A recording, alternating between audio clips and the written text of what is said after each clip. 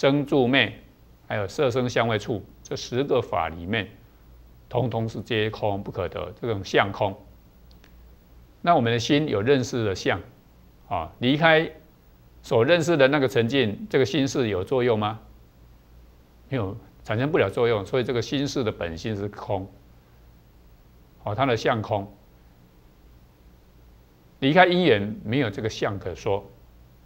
当，我们平常会讲说性空性空，那是从本性上来说的。那我们也要从相上来说，一切相皆空。我们不能说性空，但是相不空，那是错误的说法。好，那唯有讲性空，也讲相空，这样性相圆融皆空，都不可得。那这样才能够性相圆融。那性空，所以呃相能够缘起的幻化。这样，我们菩萨才能够真的借着这个体相用去利益一切众生啊！好，那再我们讲诸法空不可得空，那一切法空，一切法皆是因缘所生，如幻如化的空啊！我们已经知道有为法、无为法，这是一包括一切法啊，那也包括。内空、外空、内外空，内法、外法、内外法，哎，这个是一切法。那包括有漏法、无漏法，也都是空嘛。那包括世间法、出世间法，也都是空。计法、无计法，也都是空。哦，那共法、不共法，也皆空。一切法空，还有自相空，皆空不可得。那有任何一法。不空的话，那是不可能成立的，好，所以在这十八空里面的诸法空，啊，那不可得空。有人说，那这样的话，般若就是可得喽？一切法皆不可得，那般若波罗蜜是不是可得？般若波波罗蜜不能直取呀。那龙树菩萨的形容是说，所有万事万物一切东西。碰到火都会被火烧掉，火是很猛力啊，能够烧一切的万事万物。那能够把一切万事万物这样烧掉的时候，这个好像火能够烧尽无余。那这样火的势力很大嘛？但是这个火能不能去摸它？能不能去抓它？火的势力那么大，但是火是不能抓的。同样的道理，这个空。能够破一切的有，但是你空也不可得，不能去拥有支取它。如果你拥有自取它的，好像反而被这个空所烫到、所烧到了，那会重度灼伤啊。所以大圣说空法为破诸见故，若复着于空，诸佛所不化。如果我们在着这个空，那佛也没办法度化。所以佛陀在讲十八空里面要讲不可得空。所以连这个般若的实相，你也不可执取，不可拥有，也不可得啊！好，那无法空，有法空，无法有法空。无法空，如果法没有的话，是什么状态？有无可得吗？没有，无是不可得的。无法就是没有吗？啊，所以它是空嘛，所以无法空啊，哦。所以一切法，它所现起来是什么？现起来是有法。那既然是一切法能够说得出来，它就是因缘所生的，所以是有法。因缘所生法，不管是性空、相空，不管是内空、外空、内外空，啊，不管是能够言语说明的东方、南方、西方、北方，十方上下皆是大空啊。哦，那有为法也说得出来的，啊，那在这里面，这样我们深刻的体会到以后，我们就深深的了解，那个有法是空的，那无为法的无法是不可说的，但是假名的话就变成是相对的有为有为法的形容词啦，无为法这个用名词来形容，就那个名词就变成有为法生生灭灭了。所以，无法空，有法空，那无法有法就一并皆空了。相当于有法的没有才叫无法。那有法既然都空了，无法当然也是空啦。所以在诸法实相里面，我们要深深的了解无法有法空。那在般若的十八空里面，般若的空本来只有讲直接讲空就好了。那世尊他告诉我们用十八个角度来观，再多观下去就累了，哦，就累赘了。但是你不讲这十八个，我们众生又会有所不足。那众生如果着在眼耳鼻舌身意的，你跟他讲眼耳鼻舌身意空啊，讲他自我嘛。众生着在外在的五欲六尘，你就跟他讲色声香味触法的外空啊。众生在分别你我对立的时候，就是说内空外空内外空啊。哦，众生着在那个空的时候，你就是跟他讲空也不可得。众生着在东西南北四维上下，就跟他讲大空的十方空啊。众生着在第一地上面，好不可着，那你就跟他讲第一空啊。众生会只取有为法跟无为法的对比，只取的，你就跟他讲有为空、无为空啊。众生觉得佛是不空的，那你就跟他讲毕竟空，没有一法不空的。如果还有个不空的，那就不叫毕竟空。所以佛陀要跟我们提醒。毕竟空这三个字，那散空、性性空跟自相空，一切法皆破散无余啊！啊，众生会觉得有的东西是不会破散、不会空的，所以要讲散空。那有的人不晓得性空能够缘起，所以跟他讲一切法的本性皆空啊。本性皆依靠缘起，所以讲性空。有的人讲，哦，这个儿子很帅啊，女儿很美啊。那佛陀就讲说，帅，如果真实有个这个帅的相的时候，他的业不见呐，帅的业不见呐，他的身体的细胞身体健康也不见呐。那这样的因缘不见的时候，那个帅还存在啊。这个相还存在吗？不存在嘛。那美如果离开他的恭敬心，离开他的称赞如来，离开他的礼佛见佛欢喜的这些忍辱慈悲的因缘，如果不见的话，还有四大调和这个因缘不见的话，这个美能存在吗？没有因缘就没有这个相啊，所以相是空的。那讲，呃。诸诸法空不可得空，跟无始空，无始也不可得，一切法也不可得，哦，诸法通通不可得，连不可得也不可得，那有法无法通通是不可得，在这样不可得之下，一切法皆空，那对一切法通通看破放下自在啦，这样就能够得到菩萨的诸法实相，以后去利益众生。才不会出众生有一个不能度的，才不会说去染着任一个众生或善法，去承认恶法啊，这个是一个非常重要的。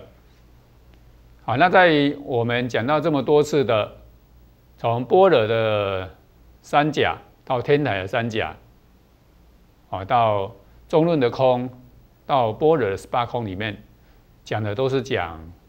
空啊，那这里面讲的空，平常我们会讲的空性。空性它是有还是没有？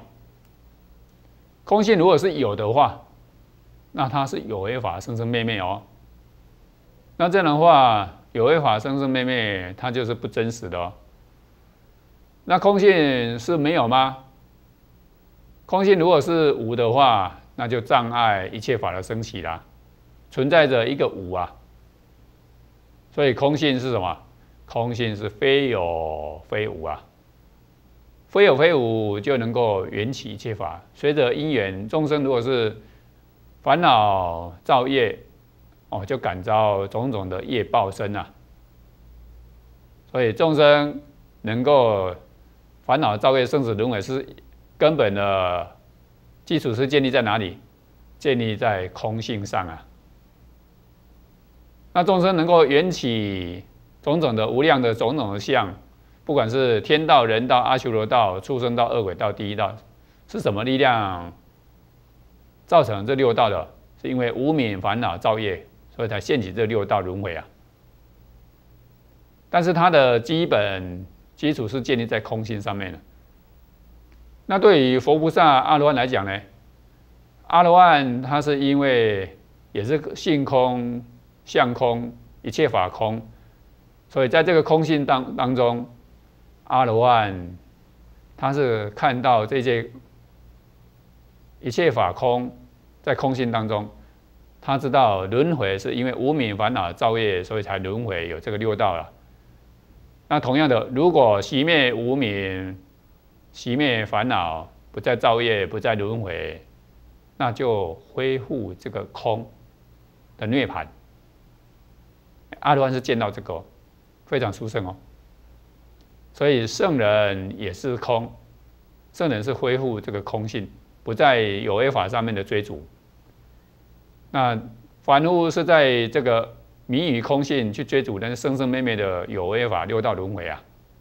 好，好，这个了解以后，我们再知道佛陀为什么要说这个空的因缘呢？说空因缘是因为要让众生知道一切。法皆不可得，才要讲这个空，这个因缘。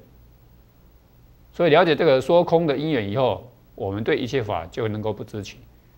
那菩萨他知道这个空的因缘以后，哎，又知道既然是空，所以能够缘起借法，所以菩萨会去把握这个空之下能够缘起的，跟众生讲轮回是什么一回事，跟众生讲解脱是怎么一回事。在空之下，所以能够说轮回是无名起烦恼造业，所以才轮回。所以众生啊，你们应当要破除无名，不再起烦恼贪嗔痴啊，不再造业而轮回啊。但是烦恼也不可得啊，业也不可得啊，业报也不可得啊。所以一切法皆不可得，是这样来讲空的哦。所以说空因缘是要因为一切法皆不可得啊。那从这当中，我们要讲空的真义在哪里？哦，空的真义可以讲缘起义啊，因为空，所以能够缘起善法，布施，所以感召福报啊，富有报；持戒感召升天做人报啊，修定感召色界无色界天的报啊。修四正地、十二因缘、八正道、三七道品，所以能够熄灭烦恼、缘起、熄灭烦恼的阿罗汉辟支佛嘛。那因为空义，所以能够缘起六波罗蜜、具足实地，哦，十八空当中，所以能够具足圆满佛道的阿耨多罗三藐三菩提，能够缘起。实力是无所谓，是无碍智，十八共法，大慈大悲，一切种子的佛，对不对？所以空的真实意义有真缘起义啊。好，那第二个空的意义有极灭义，能够在一切法当中极灭，啊，见到这个极灭的真实相，那不会在现现象界里面呃染着。会在这个现象的缘起里面看到它是幻象，所以空又显示一切法的极灭相。好，那空又能够表示一切法的本来面目。一切法本来面目是涅盘嘛？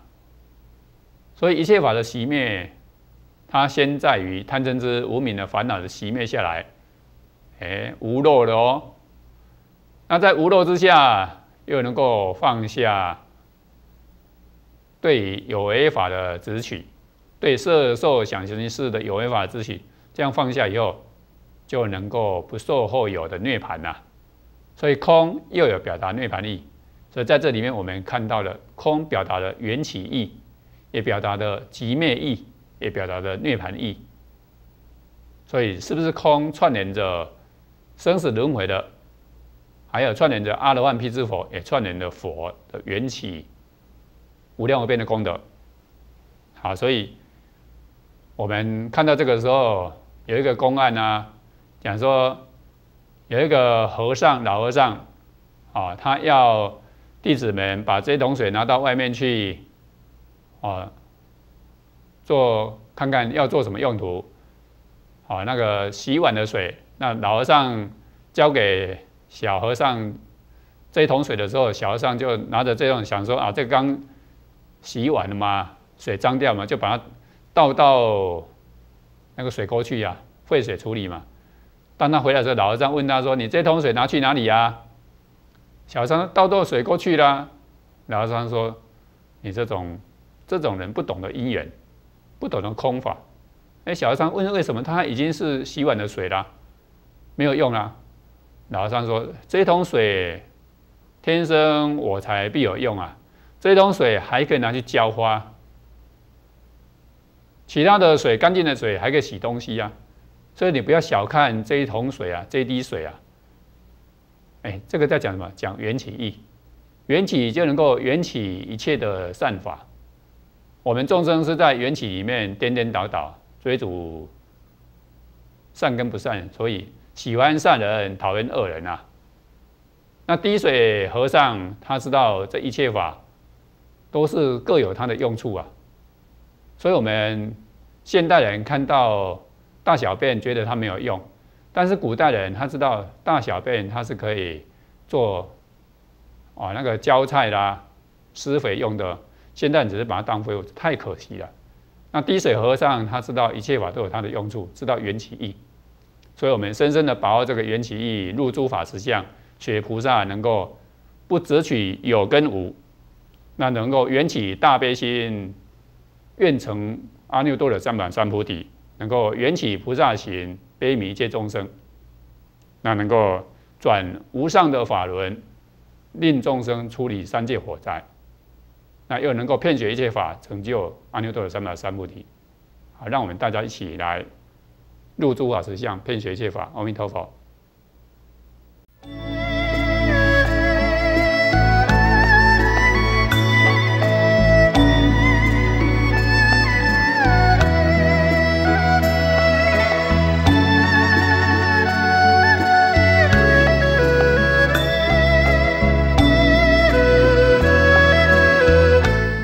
菩萨入诸法实相以后，不是这样就没事了。菩萨必须要还要再遍学一切法，因为在入一切智得一切智的时候，还要能够入道种净智。道种净智圆满的时候，才是一切种智。哦，这是菩萨应当学的。那菩萨要遍学一切法。啊，要学什么？那为什么要学？他要学一切法的基础在哪里？啊，菩萨骗学一切法的基础在于，菩萨已经那个学过般若十八空了，能够在自相空中再学一切法，这样才不会每学一切法就只取一切法，因为一切法都是建立在因缘上面的。所以这一切法的相都是空啊，没有一个实有的相可得，没有一个实有的一切法可得。所以菩萨遍学一切法，在一切法的自相空中都能够无障无碍啊。所以一切法指的是什么法？一切法有《般若经》里面有六对，就是世世间的善法跟不善法。好，那技法跟无技法，哎，有为法跟无为法，世间法跟出世间法，有漏法跟无漏法，共法跟不共法，有这六对。那世间的善法是什么？都是菩萨要学的哦。那菩萨要学世间的善法，里面有孝顺父母啊，尊敬师长。啊，要能够学恭敬出家人，恭敬有德的人啊。菩萨还要学布施的生福的地方，还要学持戒生福的地方，还要学修定生福的地方，还要学劝导人家来护持三宝、恭敬师长、孝顺父母的地方，还要能够方便让福德能够升起的这个地方。方便生福德升起的是什么呢？是能够忏悔罪业啊！忏悔我们才能够生福德，不忏悔罪就越来越深哦。所以忏悔方便生福德，啊，这是一个很重要的。所以自古以来，中国里面非常注重这个忏悔，啊，所以有种种的三昧水忏啊。种种梁王宝忏啊，大悲忏、地藏忏啊，金刚忏、净土忏，从忏悔方便生福德，这是菩萨所要学的。好，那还有随喜功德啊，随喜别人所做的善行，别人所得到的福报啊，随喜生福德。好，那还有能够请佛入世，请转法轮。请法师说法，这个时候方便生福德啊，这是一个很重要的。那我们心愿意请佛注释，让众生能够遵循如来的教诲，也能够让众生能够因为有佛转法轮，有法师说法，那自己也会恭敬三宝，也会恭敬法师，恭敬正法，那这样我们也会升起福德啊。叫做方便生福德啊，又能够行学世间的十善道，世间里面啊，不杀生、不偷盗、不邪淫、不妄语、不恶口、不两舌、不欺、不贪、不嗔、不嫉妒、愚痴啊，这个要学世间的十三道。那菩萨在学这些世间的善法的时候，是在自相空中不染不着的。他学这个做什么用？学这个能够教众生，能够行这些种种的善法。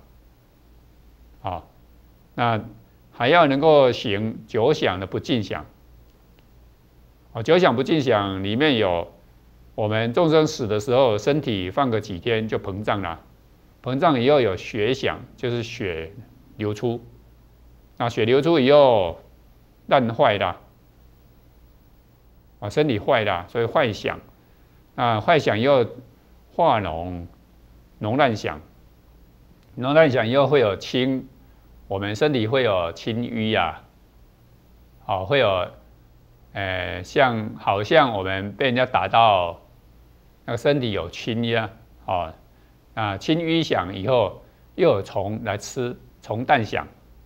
从蛋想吃了以后，全身的肉已经越来越少了。那骨头的筋骨分解掉以后，那个散剩下骨头响，然后会有散响以后，哎，只剩下骨头的一个一个一个剩下的骨头在那边。那骨响，骨响以后拿去烧，剩下像灰一样的那种骨灰。就是烧响，啊，这是九响。那菩萨他学这个不净，虽然他不是要入不净，呃，证阿罗汉，但是他要从这个做起，能够离开欲界里面的啊这种欲想。那还要能够修四禅，从初禅、二禅、三禅、四禅，修四空定，四空无边处定，四无边处，无所有处定，非想非想处定。修慈悲喜舍四无量心，哎，修这些，啊，这是他要学的。菩萨还要能够学念佛、念法、念僧、念戒、念思、念天、念善、念安波、念生、念死，要有修这十念法。念善是什么？念善是念着涅盘的纯善啊，功德无量无边，念的一切善法能够导向涅盘去。虽然还没有得涅盘，但是这个念这个善念涅盘这个目标，就会升起善心，就会离欲向着涅盘，不再染着世间呐。啊，这个念善，也就是念休息或者念安波。哎，这个念生念死，念死是什么？念着死的时候躺在那边，不再拥有什么东西，所有世间的一切身心五蕴世间财物名利，通通带不走。所以念死的时候没有什么好执取、好拥有的，啊，这是念死。那菩萨要学这些善法，当然也要学不善法。不善法？有哪一些？不善有杀生、偷盗、邪淫、妄语、两舌、恶口、贪欲、嗔恚、忌害啊，愚痴。哎，这些为什么要学？学这些才能够教众生，什么是会堕落地狱恶鬼出生阿修罗道里面的因缘啊？那也才能够叫众生应该不要堕落三恶道。知道他的因缘，才会障碍住，不会堕落。这个是不是就像佛陀告诉我们的？佛陀说：“我有事无碍，事无所谓啊。”啊，第三个所谓是一切的障道法，我通通知道。所以众生啊，你们不要去行这个障道法，会障碍到涅槃的这个法，这个道不可以走啊。所以。在这个根本的地方，我们菩萨当然也要学什么是世间的不善法。那不善法知道，但是不行，要要摒除它。这是要学的善法跟不善法啊。那什么是技法？无技法也是要学的呢。啊，技法里面就是善法、恶法。善有善报，恶有恶报。反正做善就是有记。做不善就是有恶，这都是恶业，都是记住的，在我们的所谓心灵深处啊，所谓在业里面都是有记有表有注记的，所以这是善法跟不善法。那这个时候要学啊，善法当学，不善法应知。那什么是无记法？无记法就是不会对后。未来产生什么影响力的？像我们在工作里面的技术啊，这些不是善业，也不是恶业，所以对未来不会产生什么影响。走路位移，它也不会产生未来式的影响，所以它也没有什么关系，没有什么影响。所以这种变化、动作位移、吃饭、睡觉这些所谓身口。的这种行为，通通不会产生什么后续的影响力，所以这个叫做无记法。啊，古代里面叫做阎罗王的旁边有个判官呢，在记得你的善业跟恶业，就是用那个来形容说，所记的不是什么都给你记住，是记你的做善做恶，那个叫做记法。你走路吃饭这个根本不用记的。我们在念。念书的时候要写日记，就写一些没有用的话，哦，那个显然是无记没有用，要写记法，记善记恶啊。第三组是世间法跟出世间法。世间法是什么？世间法就是五蕴十二入八界呀。世间法就是十善五戒四禅四无量心四无色定，那叫做世间法。因为所行这些、所做这些都是世间里面的，而且会在来世里面、未来里面还是一样在世间里面的，这叫做世间法。出世间法呢？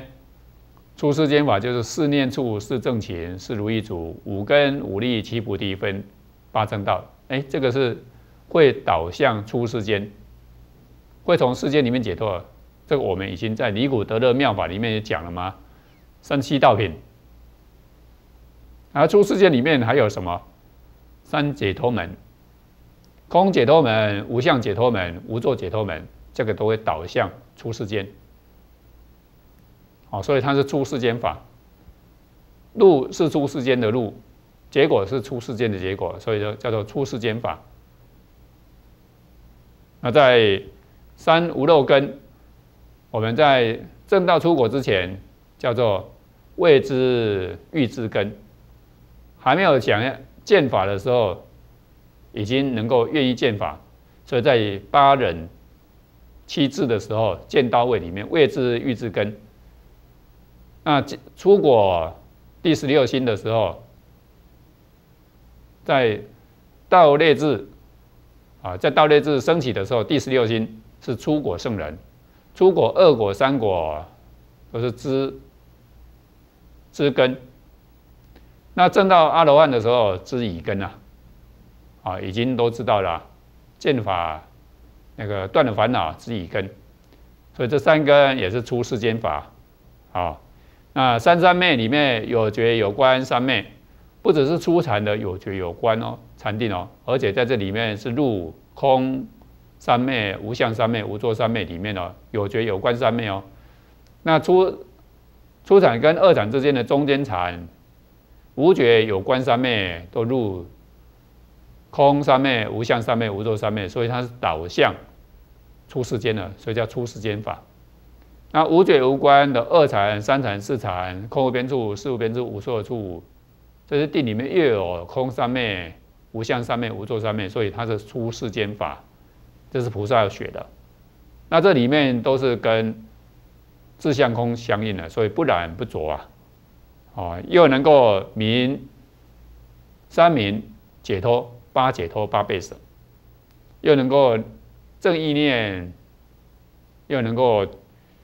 有慧又能够正意念，又能够八倍舍，这个都是跟出世间有相关的啊，所以这是出世间法。那些正意念能够导向涅盘，好，这是非常非常重要的。好，那另外一对是有漏法跟无漏法，有漏法是世间的善法，啊，那无漏法。是指贪欲熄灭啦，嗔恚熄灭啦，于是熄灭啦，一切烦恼统统熄灭啦，那个叫做无漏法。好，那什么是有漏法？有贪、有嗔、有痴，那叫做有漏法。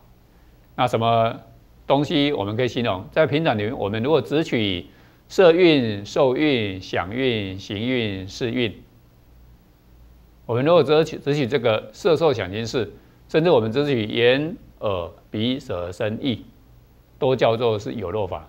还只走外在的色声香味触法，都是有漏法。只取八界都是有漏法。这些通通是，所以它叫有漏法。无漏法就是从出世间里面的熄灭烦恼的贪嗔痴，通通是无漏法啊。所以四念处是正经，是如意足，五根五力七菩提分八正道，六波罗蜜是八空，乃至十力是无所谓，是无碍智是八不共法，通通是无漏法，啊，会熄灭烦恼的。啊，那什么是有为法？有为法里面包括世间的善法、不善法，啊，包括我们在修行，虽然是无漏法，但是它是。生生灭灭的，像四念处也是有为法，四正经是如意足，五根五力七菩提分八正道，六波罗蜜十八空，十力是无所谓，四外智十八破空法，这些都是生生灭灭的，叫有为法。那什么是无无为法？无为法是不生不住不灭啊，那叫无为法。这个都是自相空，在我们讲波的十八空里面都谈过了。哦，所以。这是我们必须要了解，菩萨必须要知道，菩萨什么是共法，不管是佛道还是外道的，通通共同有的叫做四禅、四无量心、四无设定。菩萨要学，啊，学四禅、四无量心、四无设定，这是通通叫共法啊。那什么叫不共法？只有佛门中佛。法里面跟世间外道不一样的，叫做不共。那什么是不共？就是四念处、是正行、是如意足、五根、五力、七菩提、八正道。哦，六波罗蜜是八空，十力是无所谓，四外这是八不共法，大慈大悲一切种子，这些声闻法、辟支佛法、菩萨法、佛法，这些不是世间所有的，外道也没有修这个，所以不共世间跟外道。那世间外道，他们也会跟佛道里面一起学的，都有的，是四禅、四无设定跟慈悲喜者、四无量心。那我们知道这个以后，菩萨他，你看他要学这一些，他的功德在哪里？第一个，你有注意到，菩萨要学善法不善法，所以菩萨要学的可多了。菩萨学世间的善法，所以能够帮助众生。啊，怎么在世间的人天里面往返？菩萨学不善法，所以帮助众生不会堕入三恶道。菩萨学技法无技法，所以菩萨在无技法里面，他不会浪费时间，他会在技法里面劝众生断恶修善。菩萨在世间法跟出世间法里面，知道什么是世间，什么是出世间，所以菩萨会令众生。从世间里面导向到出世间，菩萨在有漏法跟无漏法，会令众生去除有漏，而能够入无漏解脱。菩萨知道什么是有为法、无为法，所以能够有为法入无为法。菩萨知道修共法不共法，所以共法在还没有佛的时候，教众生能够修共法。在有佛的时候，能够让众生从共法导入到不共法的三圣里面。那这一切法通通自相空，通通自相空，所以没有一法可得啊。好，这个是极为重要的。那还有一个叫九次第定。那这个九次第定里面，它是属于出世间法。九次次第定里面是。初禅的离欲恶不善法，有觉有观，离生喜乐地，入初禅。那次第定里面又有无觉无观，离喜离，哎定生喜乐地，入二禅。那三禅是离喜妙乐地，入三禅。那四禅是，哎舍念清净地，入四禅。哦，灭了这喜乐，又被苦恼。那过一切色处啊，从色界的色界禅，舍了色入空无边处啊。那再舍了空入是无边处，那舍了是无边入无所有处，那舍了无所有入非有想非有想处，那舍了非有想非有想入灭尽定啊。这是九次第定，菩萨跟具解脱阿段都有到灭尽定的这种功德。那有这些功德以后做什么用？能够教二圣啊。那在九次第定里面要教一般凡夫禅定也有办法，所以这是一个非常非常重要的一个关键点。那在这里面，菩萨他既然遍学一切法。那它的作用，我们必须要了解。菩萨他如果只有所谓学行菩萨道，要成就佛道的话，如果单单只有讲这样的话，没有把它讲清楚，它的作用在哪边？那这样的菩萨太可惜。而且菩萨他如果要劝声闻辟支佛的这种行者，能够要教他们。声闻人跟辟支佛行人，他会说：“啊，你这个菩萨，你又不懂声闻道、辟支佛道，那这样的菩萨会被声闻、辟支佛二圣所看不起。那这样的菩萨是不圆满的。所以菩萨要先学诸法实相，得一切智。那得一切智，在一切智当中，又要能够学声闻道、辟支佛道。”那在声闻道、辟支佛道这个二圣的这一道里面，跟菩萨的所行的道里面有个对比。那我们再回忆一下我们在声闻道里面所学的，声闻道里面所学的啊，有学到我们要从闻会到思会到修会。那闻会里面我们有所谓顺解脱分，那有一个叫顺抉择分。再是圣道分，那顺解脱分里面，我们学到的是什么？它是有闻会思会，所以这个时候我们要用心听闻佛法、思维佛法，但是还没有得到禅定的功德水。所以当这时候好像是菩萨道里面的甘惠地，呃，顺解脱分像菩萨道的甘惠地，也是闻般若波罗蜜、思维波罗波罗蜜，但是还没有得到禅定水，这两个是相对等的。所以顺解脱分里面，菩萨跟声闻是有这种对比之下，声闻法他这个时候要修什么？修五庭心观呐。五庭心观还没有得禅定哦，但是它有观的力量，也就是闻会思会以后，五庭心观以后再修四念处的别相念，也修四念处的总相念，但是还没有得禅定。这时候的。声闻法，它就在顺解脱分里面又进入到修禅定以后，观四谛十六形象，它入了顺觉者分，已经有禅定的禅定水了。顺觉者分里面，也就是有软位、顶位、忍位、四第一位这四三根位。那这里面就相对于菩萨法里面的性地哦。菩萨法里面有干慧地、性地、八人地、见地、薄地、离地、以般地、辟支佛地到菩萨地，然后佛地。那相对等于顺觉这分里面的软顶忍四第一啊，这个四三根的，它就是属于菩萨法里面的那个性地。为什么？我们讲软必至涅盘，也就是你如果在修观世第十六形象以后。你软位升起了，不管你以后如果还有堕落恶道，你还是到最后终究会得到涅槃，因为软已经升起。那菩萨也是一样，只要他这个时候有菩萨的种性以后，他以后必定会成佛，这叫性地。那声闻法在入四谛以后，他再来就是见道十五心。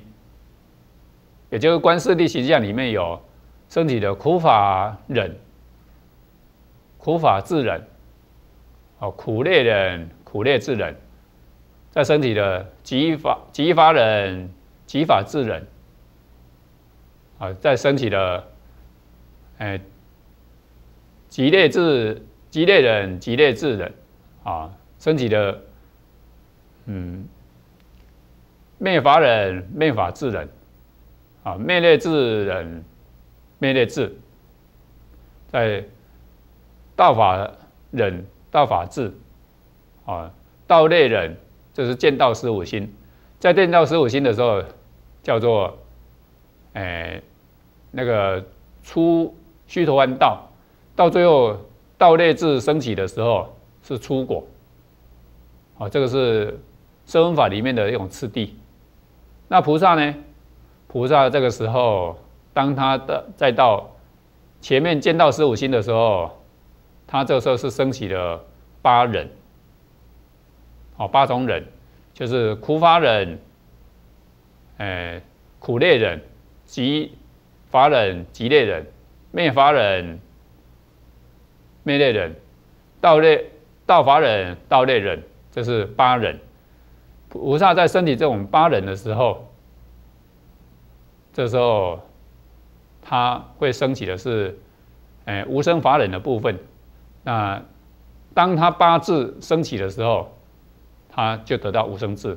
所以在无生法忍、无生智的圆满的时候，这是七地菩萨所成就的。当七地菩萨成就这个以后，他证的无生法忍、证的无生智以后，断了烦恼啦，断了烦恼，他这个时候忍着不证到阿罗汉辟支佛。所以菩萨在七地的时候证到无生法忍的无生智以后断了烦恼，这时候当他舍舍掉这个生死的业报身，他就得到法身大士，法身菩萨，他是法性生生了。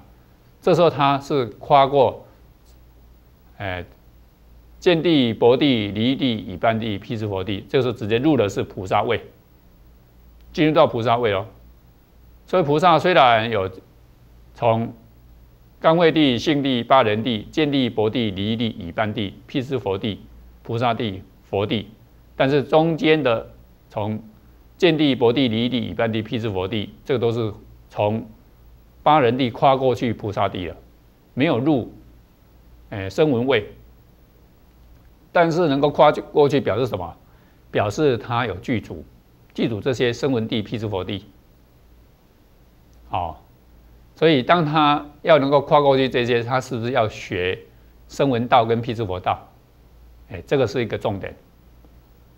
所以菩萨他要遍学一切法，要遍学诸道。所以在这里面叫做他要有声闻道、辟支佛道跟佛道的道种净智，这叫道种智。啊，所以他在这边深深的了解这个以后。在得无生法忍、得无生智以后，哎，这里面就开始学一切法了。所以菩萨在得无生法忍，从七地入八地以后，八地开始遍学一切法。那我们可能还没有到达那种程度，不过你先知道这个理路次第，以后我们在骗学一切法的时候，你才知道哦，现在的阶位。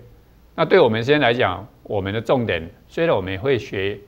这么多，但是我们更重要。我们现在阶段是在学诸法实相，那未来八地以后是在诸法实相当中又学一切法啊。不过我们先先知道一下它的次第、它的相关性啊。那菩萨在骗学声闻道、辟支佛道跟佛道的这里面具足了以后，这三道具足以后，这时候就会得阿耨多罗三藐三菩提啊。那当这个时候的三道具足的时候，能够最后以一念金刚相应会，能够断了烦恼跟习气。他其实烦恼在得无生法忍、得无生智的时候就断烦恼，因为智慧是断烦恼嘛。啊，那所以他到最后是以一念金刚相应会断烦恼习。这个时候才是得一切种子，成就阿耨多罗三藐三菩提。那菩萨得阿耨多罗三藐三菩提叫做佛，这时候就近能够十方世界无量无边的世界去利益众生。之前当然也有了，但是成佛的时候才就近一切啊啊！那菩萨刚刚讲，菩萨是在八人地的时候。是得无生法忍，然后在得无生智的时候，这时候他跨过声闻道、辟支佛道，啊，入菩萨位了。这时候他已经用的得到道种智了，是不是？他已经有声闻道、辟支佛道都有了，所以这是一个关键点哦，这是一个很重要、很重要关键点，都非常非常重要。所以在这边你有没有注意到，什么叫做菩萨的道种净智？哦，那你如果稍微注意一下的话，我们菩萨讲菩萨有干慧地、性地、八人地、见地、薄地、离异地、乙般地，啊，辟支佛地、佛地。那现在我们已经跟声闻道比了，现在是菩萨的这个实地，跟另外有时候我们会另外一个名字叫做菩萨的初地、二地、三地、四地、五地、六地、七地、八地、九地、十地。现在再另外跟这个比。这个十地前面的初地、二地、三地、四地、五地、六地、七地，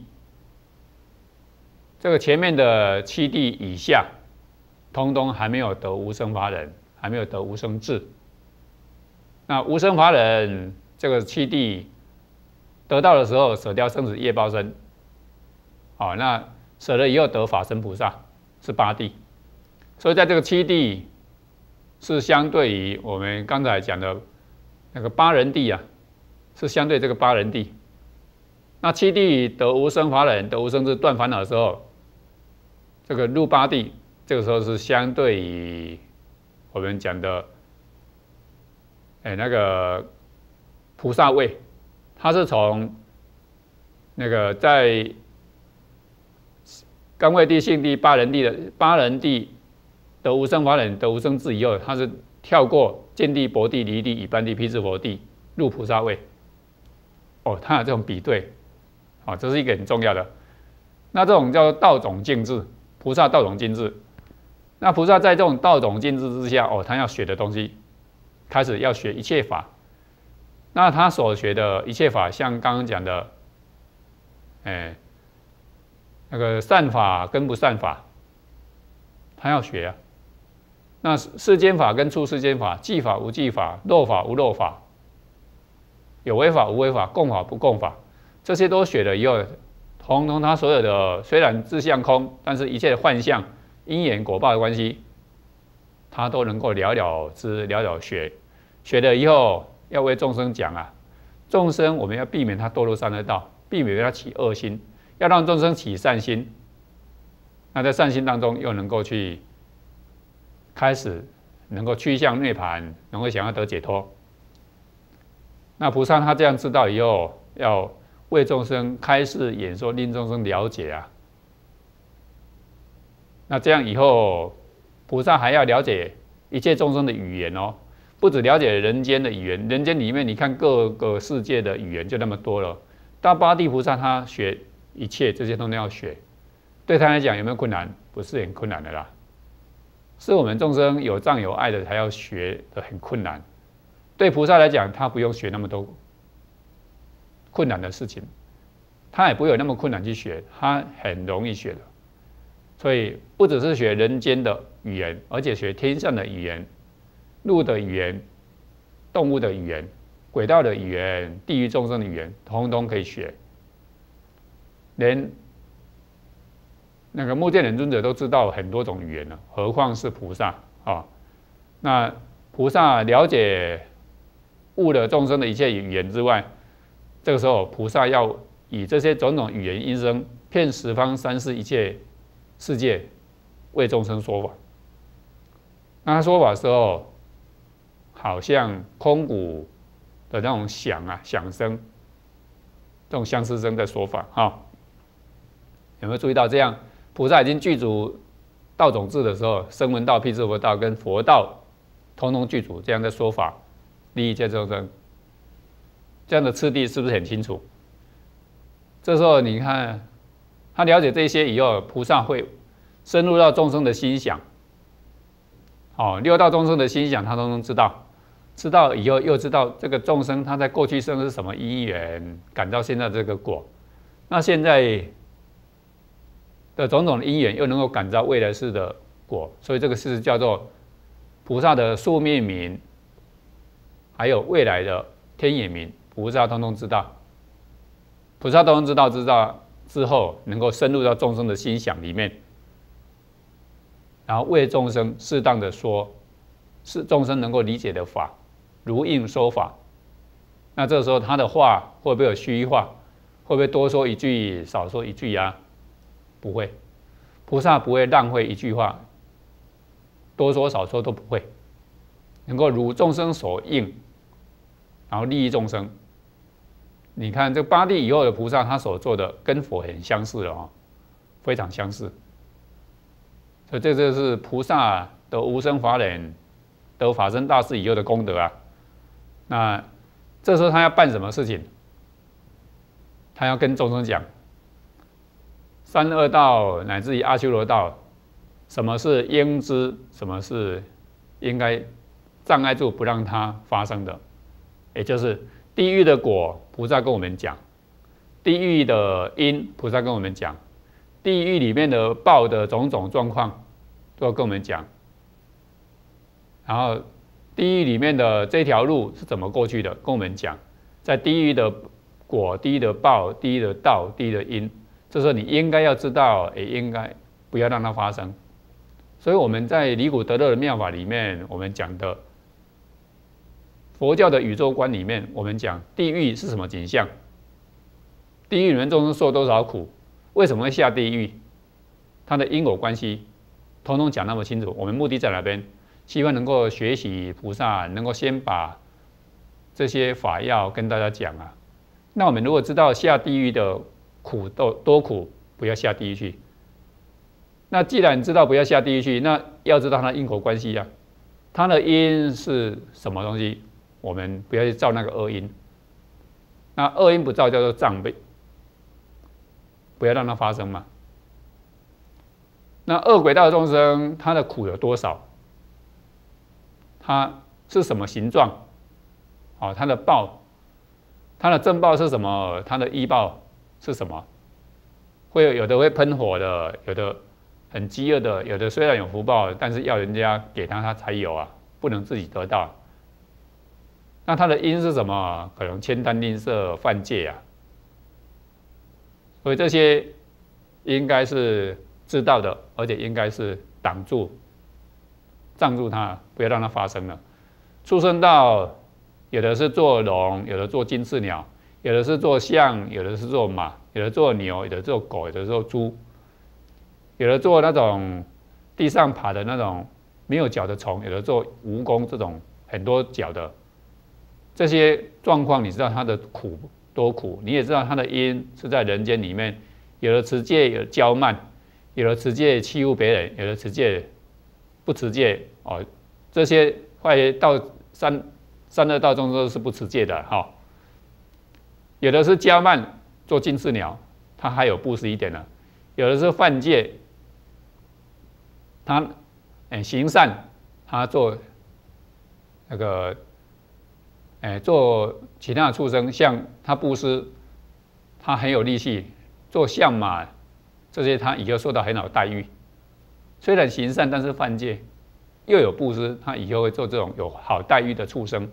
像马牛这些，啊，那有的认为自己很娇慢的，哦，会做那种阿修，哎，金翅鸟这一方面的，有种种这种变化不同，那这些都是应该要藏住，不让它发生的。那做人富贵人的法，哦，应该要知道他的因果这条路，还有。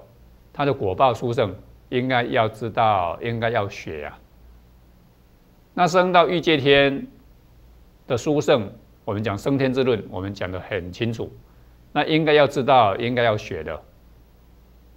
那升到色界天的功德殊胜，应当要知道，应当要学的。无色界天的功德殊胜，这条因果关系，应当要知道，应当要学的。还包括啊能够证到。